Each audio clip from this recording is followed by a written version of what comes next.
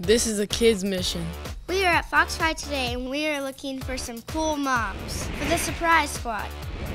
I think my mom is really cool. Me too. We can't nominate our moms, but you can nominate yours. Do you have a really cool mom and you want Monica Jackson to surprise them? Click on the Surprise Squad link on Facebook right now. Nominate your mom and tell us why she's so special. And what you want to surprise them with. Hey, what are you kids up to? Nothing.